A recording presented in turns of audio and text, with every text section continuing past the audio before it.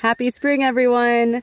It's Demonstration Farm Director Kaitie Adams here at Fields Restored, one of Savanna Institute's agroforestry demonstration farms here in the state of Illinois. Unlike the Spring Green campus, our demonstration farms in Illinois are not owned by the Savanna Institute. Uh, instead, we partner, and in many cases, we have multi-party partnerships um, with landholders and farmers where we work together to get agroforestry demonstrations off the ground. Field Restored is an excellent example of this. It is a multi-party partnership between the landholder, Scott and Sandy Williams, the farm operators, the Rogers family, and Savanna Institute. And so in 2020, we worked together to establish a silvopasture by addition experiment, as well as a multifunctional riparian buffer on 15 acres of the farm owned by Scott and Sandy Williams and operated by the Rogers family. At that time, we were interested in, in putting together an experiment that focused on silvopasture islands, so groupings of trees in a continuously grazed pasture.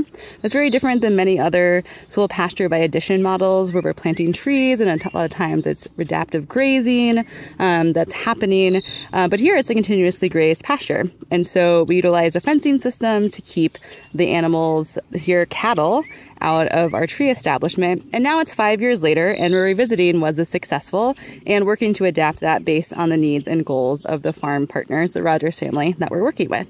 And so over the past two years, we've been working on transitioning this from an experiment to a functional demonstration. And so I'm out here today doing a field walk, marking islands where trees haven't survived or they haven't thrived, um, marking islands where we want to make investment into more permanent fencing in there so we continue to keep the cattle out of the fencing, but we have peace of mind that we have really strong fences to allow those trees to go, and also checking in on our riparian forest buffer. And so if you look behind me, I'm standing under some hybrid poplars, and you'll see some islands right behind me. Um, where some trees are really big, some trees are really small. This is often the case in agroforestry demonstration work where we're trying out different things. Some things work, some things don't. And the five year mark is a really great chance to go back and reevaluate what's been successful and what needs to change for the next 5, 10, 15, 20 years plus of the site. We've been really excited to see that black walnut and hybrid poplar have done really well at this site.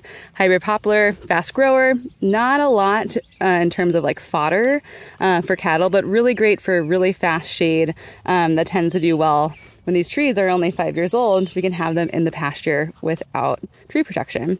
Black walnut, a little bit slower to grow, still pretty fast, um, good shade potential, and good for pasture health. And so we'll continue to see uh, what goes well, what doesn't go well here, and we invite you to an upcoming field day uh, for, so you can check it out yourself.